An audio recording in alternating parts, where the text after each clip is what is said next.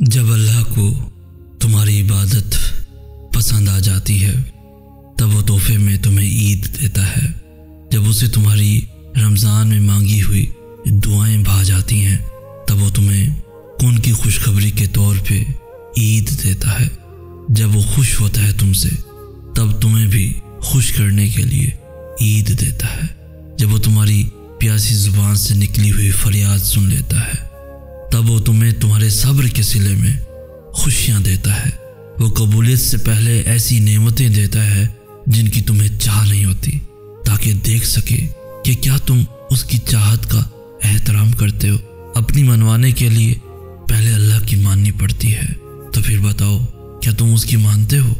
दिल तो तभी खुश होगा ना जब इस दिल में रहने वाले को खुश रखोगे। वो नवाज़ देगा, तुम्हें तुम्हारी रजा से तुम बस एक दफ़ा उसकी रजा के लिए खुश रहकर तो देखो। दिल तो तभी खुश होगा ना, जब इस दिल में रहने वाले को खुश रखोगे। अपनी मनवाने के लिए पहले अल्लाह की मानी पड़ती है। तो फिर बताओ, क्या तुम उसकी मानते हो? जब वो तुम्हारी प्यासी ज़ुबान से निकली फरियाद सुन लेता है, तब वो तुम्हें तुम्हारे सब्र के सिले में खुशियाँ देता है।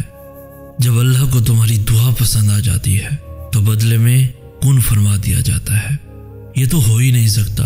तुम वक्त तहजद अल्लाह को पुकारो और तुम्हारे लिए मुआवजा ना हो। ये तो हो ही नहीं सकता। तुम यकीन रखो और तुम पे रहम ना हो। ये तो हो ही नहीं सकता।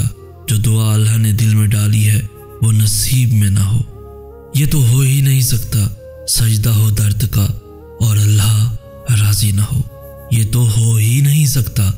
इस तूफ़ान के बाद तुम्हारे लिए अल्लाह की मदद ना हो। ये तो हो ही नहीं सकता।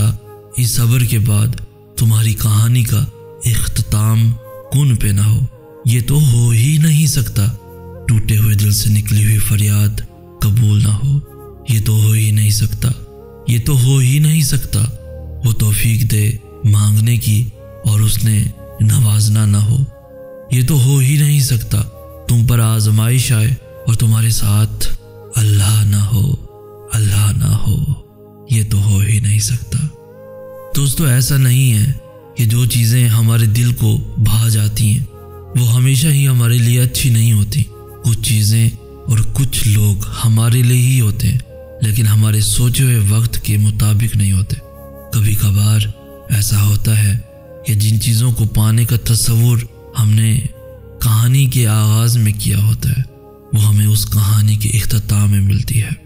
इंसान की हर उस चीज़ से आजमाइश की जाती है, जो उसको सबसे ज़्यादा प्यारी होती है। और फिर कभी कभार बहुत मुख्तसर सा इम्तिहान लेकर जजा या सज़ा का फैसला कर दिया जाता है। और कभी कभार अल्लाह को कोई चेहरा इतना पसंद आ जाता है कि वो उस चेहरे को बार बार देखने के लिए इम्तिहान को लंबा कर देता है। ऐसा नहीं है कि वो तकलीफ़ देता है, और ऐसा भी नहीं है कि वो सुनता नहीं है। बस कुछ मंजिलों के रास्ते उसने ऐसे बनाए होते हैं कि तुम्हें उन तक पहुँचाने के लिए अल्लाह की राह से होकर गुजरना पड़ता है। तुम सोचते हो कि ये तो मेरी पसंद की राह ही नहीं, लेकिन तुम ये गुमान भी नहीं कर सकते कि इस राह के आखिर पे जो मंजिल है, वो तुम्हारी कितनी पसंदीदा है। असल में वो बड़ी परफेक्ट मैनेजमेंट से अपने सारे काम करता है। वो बड़ी तरतीब से दुआएँ कबूल करता है।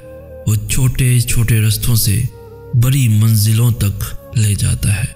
यूँ ही छोटे छोटे जरियों से तुम्हें मौजों तक ले आता है। बस सब्र करो और इंतज़ार करो। मिलने का वक्त मुख्तलफ हो सकता है, पर मिलने वाली चीज़ें नहीं। बड़ी नफासत से संवारता है वो। सारे मामलात इतनी नफासत से कि फिर कोई ये कह ही नहीं सकता कि ये चीज़ें किसी ज़माने में बिखरी भी थीं। बड़ा हुनरमंद है मेरा रब, नवाजने से लेकर मुतमिन करने तक। सभी हुनर उसे खूब आते हैं, जैसे वो खुद परफेक्ट है। बिल्कुल वैसे ही वो अपने किसी काम में भी गलती की गुंजाइश नहीं रखता। बस यकीन रखो, उस पर जो तमाम जहानों का मालिक है। ये तो हो ही नहीं सकता कि टूटे हुए दिल से कोई फरियाद निकले और वो कबूल ना हो। सोचो तो ज़रा, अगर इस दुआ के बाद कुन कह दिया जाना हुआ। सोचो तो ज़रा, अगर इस दुआ के बाद तुम्हारी सारी अधूरी दुआओं ने पूरा हो जाना हुआ। सोचो तो ज़रा। अगर इस दुआ के बाद अल्लाह की मदद ने आ जाना हुआ, सोचो तो ज़रा, अगर इस दुआ के बाद कोई हैरत अंगेज मुआजा होना हुआ, सोचो तो ज़रा, अगर इस दुआ के बाद तुम्हारी आजमाइश ने ख़त्म हो जाना हुआ, सोचो तो ज़रा जो दुआ तुम मांग रहे हो, इस दुआ के बाद उस नामुमकिन गुमान ने हकीकत बन जाना हुआ। सोचो तो ज़रा, अगर इस दुआ के बाद रूठे हुए अल्लाह ने मान जाना हुआ सोचो तो ज़रा, जो तुम दुआ मांग रहे हो तरप कर, सिसक कर, अगर इस दुआ के बाद अंधेरों ने उजालों में ढल जाना हुआ, सोचो तो ज़रा, सोचो तो ज़रा अगर इस दुआ के बाद तुम्हारी पसंदीदा चीज़ ने वापस लौट आना हुआ, सोचो तो ज़रा, अगर इस दुआ के बाद जो आज तुम रोते हुए गिर गिराते हुए अल्लाह के सामने झोली फैलाए, मांग रहे हो, इस दुआ के बाद तुम्हारे मुकद्दर ने बदल जाना हुआ। राज़ी कर लेगा अल्लाह को। सब नामुमकिन होने के बाद भी मौजों का इंतज़ार करना तुम्हारा। राज़ी कर लेगा अल्लाह को। मुकदर बिगड़ जाने के बाद भी उसके कुन पे यकीन रखना तुम्हारा। राज़ी कर लेगा अल्लाह को। उसकी जानब से की गई देरी पे सब्र करना तुम्हारा। राज़ी कर लेगा अल्लाह को। बेदर्दी से टूट कर उसकी आगोश में बिखर जाना तुम्हारा। राज़ी कर लेगा अल्लाह को। सजदों में गिरकर उसी का नाम बार बार दोहराना तुम्हारा। राज़ी कर लेगा अल्लाह को। बेबसी से झोली फैलाकर उसे मनाना तुम्हारा। राज़ी कर लेगा अल्लाह को। बेबसी से झोली फैलाकर उसे मनाना तुम्हारा। राज़ी कर लेगा अल्लाह को। निदामतें लेकर उसके रूबरू माफ़ी के लिए आँसू बहाना तुम्हारा। राज़ी कर लेगा अल्लाह को।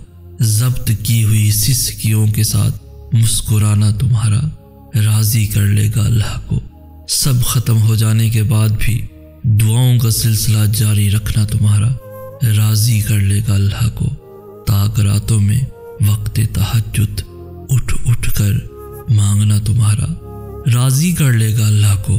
सब खत्म हो जाने के बाद भी यकीन से दुआ करना तुम्हारा।